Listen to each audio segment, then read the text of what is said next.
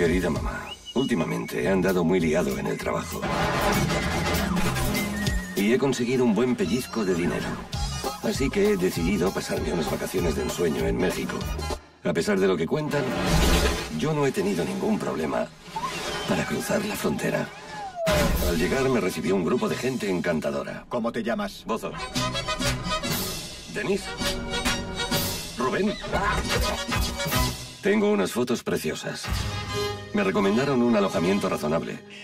No era un cinco estrellas, pero como me habían robado el efectivo, tuve que aceptar los cargos. ¡Los zapatos, puto! Los zapatos.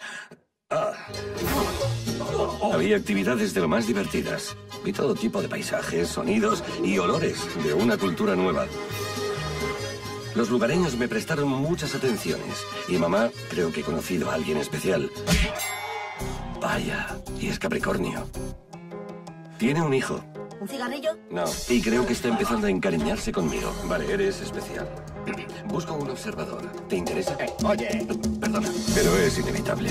Me das mala espina. ¿Me estás tomando el pelo? Ni se me ocurriría. Por mucho que te diviertas. ¿Dónde está mi dinero?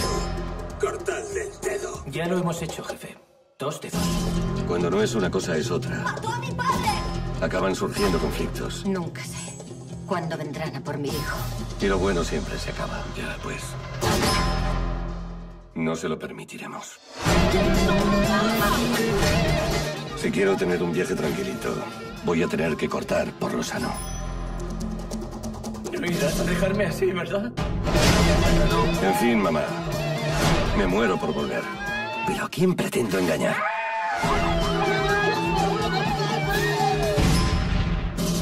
No pienso volver. vacaciones en el infierno.